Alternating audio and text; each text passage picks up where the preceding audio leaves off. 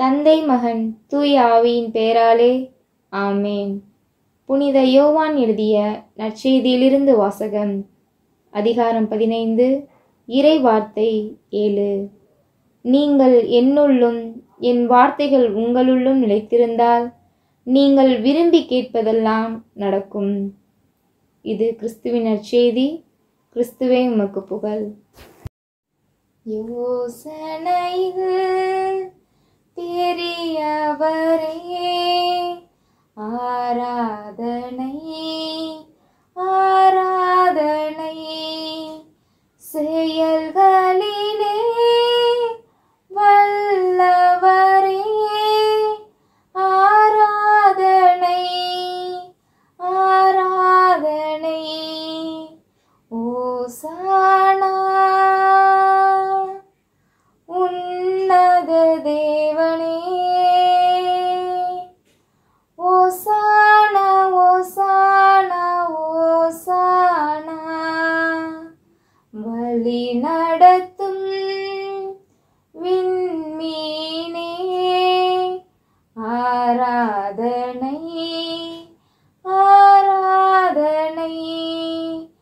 ஒளி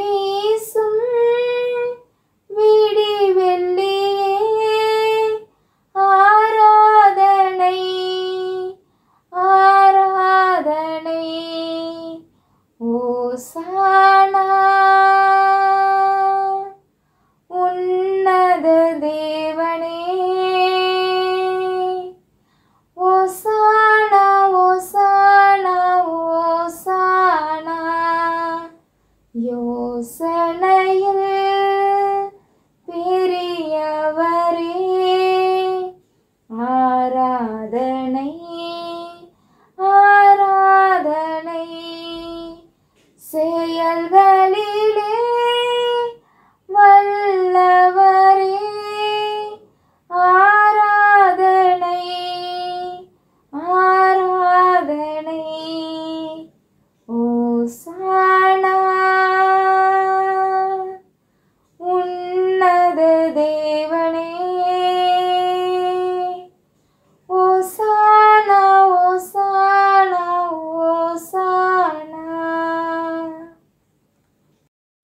எங்கள் அன்பின் பரலோக பிதாவே நீர் கொடுத்த அருமையான இந்த நாளுக்காய் உமக்கு நான் நன்றி செலுத்துகிறோம் ஆண்டவரே.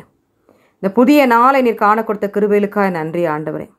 காலை முதல் இந்நேரம் வரைக்கும் ஆண்டவரே எங்களோடு உடனிருந்து நீர் செயலாற்றினீங்கப்பா. எங்களுக்கு நல்ல உணவு கொடுத்தீங்க. உடை கொடுத்து இருக்க எங்களுக்கு இருப்பிடம் கொடுத்து நல்ல சுகம் கொடுத்தீங்கப்பா. ஜீவனையும் பலனையும் பாதுகாத்தீங்கப்பா. போக்கிலும் வரத்திலும் கண்ணை இமை காப்பது போல எங்களை பாதுகாத்தீங்கப்பா. உமக்கு கோடி கோடி நன்றிகளை செலுத்துகிற சுவாமி.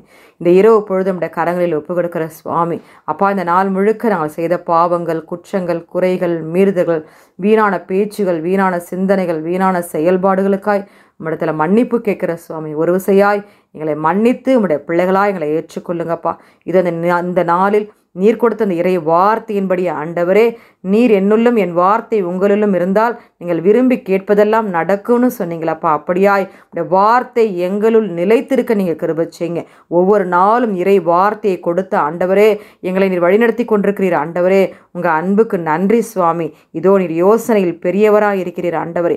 செயல்களெல்லாம் வல்லவராக இருக்கிறீர் ஆண்டவரே. கண்மணி போல எங்களை காத்து கழுகு போல எங்களை சுமந்து கொண்டிருக்கிறீர் ஆண்டவரே. ஒவ்வொரு நாளும் எங்களை வழிநடத்துகிறீர் ஆண்டவரே. அப்பா வி- ஒளி வீசும் விடிவெள்ளியாய் எங்களுடைய வாழ்க்கையில் நீர் இருக்கிறீர் ஆண்டவரே. உங்கள் அன்புக்கு நன்றி சுவாமி. அப்பா இதை எல்லாவற்றையும் உடைய கரங்களை நாங்கள் ஒப்புக் கொடுக்குற சுவாமி. இது இரவு பொழுதில் ஆண்டவரே எங்களை அருமையாய் நேர்த்தியாய் ஒவ்வொரு நாளும் எங்களுக்கு ஆலோசனை கொடுத்து நீர் வழிநடத்தி கொண்டிருக்கிறீர். ஆண்டவரே நான் உனக்கு போதித்து நீ நடக்க வேண்டிய வழியை உனக்கு காட்டுவேன். உண்மையில் என் கண்ணை வைத்து உனக்கு ஆலோசனை சொல்லுவேன் என்று சொல்லி ஆண்டவரே எங்களை அருமையாய் நேர்த்தியாய் நடத்தி கொண்டு வந்தமைக்காய் உமக்கு நன்றி செலுத்துகிற சுவாமி. இதோ இம்மட்டும் நடத்தின எபினேசர் இனிமேலும் எங்களை தொடர்ந்து வழிநடத்தும்படியாய் உடைய கரத்தின் கீழ் எங்கள் குடும்பத்தை தாழ்த்தி ஒப்புக்கொடுக்கிற சுவாமி. ஒவ்வொருவரையும் நீங்கள் ஆசிர்வதிங்க. எங்களை பலத்தால் இடை கட்டுங்க நல்ல சுகத்தை கொடுங்க. இந்த இரவு பொழுது எங்களுக்கு நல்ல உறக்கத்தை கொடுங்கப்பா. அதிகாலை நாங்கள் எழுந்துமை தேட கண்டடைய உதவி செய்யுங்கப்பா. எல்லாரும் நீங்கள் ஆசிர்வதிங்க.